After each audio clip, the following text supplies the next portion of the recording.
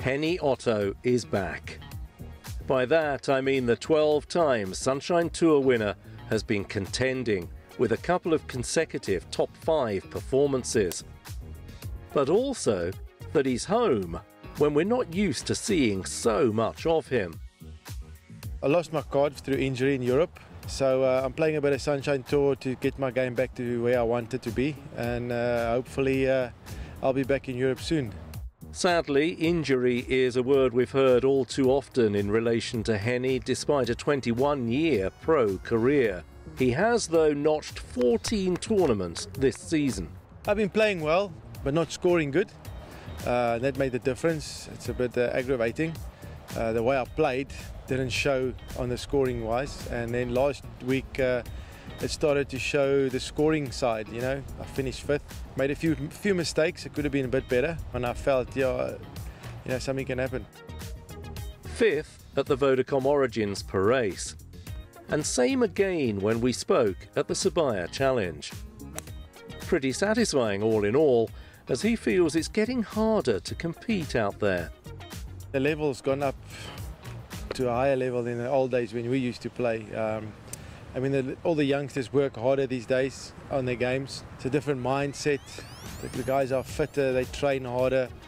So, yeah, and there's a lot of money to be playing for. And um, that's why the youngsters are hungry. That's why you're seeing all these low scores. The 42 year old still has a hunger himself, of course, but he's mellowed with experience. There's a new key word patience. I never had patience when I was younger. But um, yeah, I just take it as it comes now these days. You know, um, there's always a next week or a next tournament to perform. So, you know, if this week doesn't happen, it's going to happen next week. There are plenty of other things to bring satisfaction to. He's been racking up the miles for smiles. It helps his fitness. It's also enormous help for charity. Charity's done well. Uh, I just rode the Amashova on Sunday, 106 kilometers uh, Miles to Create Smiles. You know, it's for kids. You know, uh, we've chosen cancer this year again, Noonan syndrome, uh, human trafficking. I'm ambassador for one of the human trafficking uh, organizations, and diabetes. Um, so I write for those charities and I try to get corporate sponsors to get involved.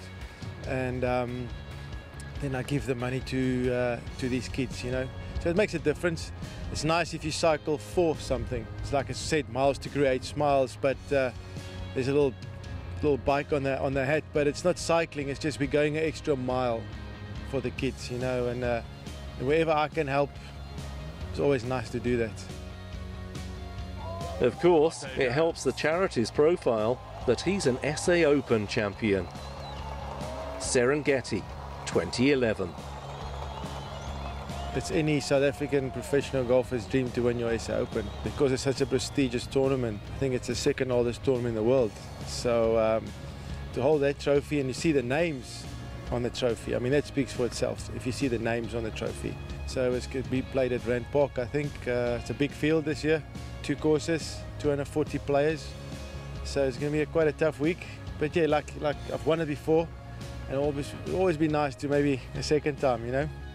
He came close at Glendower in 2013. Stay fit, aim high, who knows?